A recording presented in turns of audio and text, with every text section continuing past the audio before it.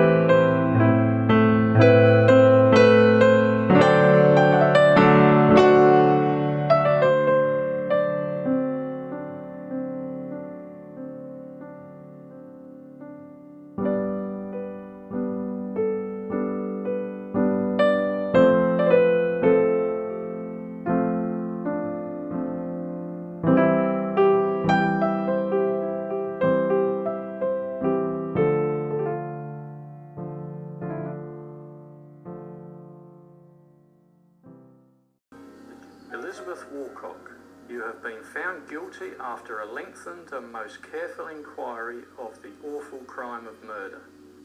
It is now my duty to pass sentence upon you.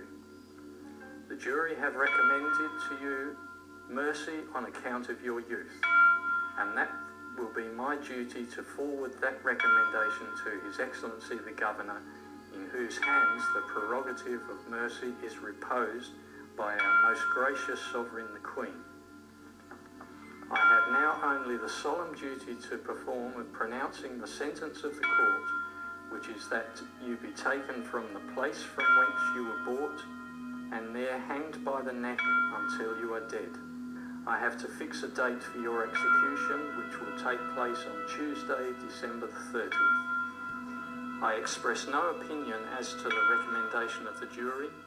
In the event of your sentence of the court being carried out, may the Lord have mercy upon your soul.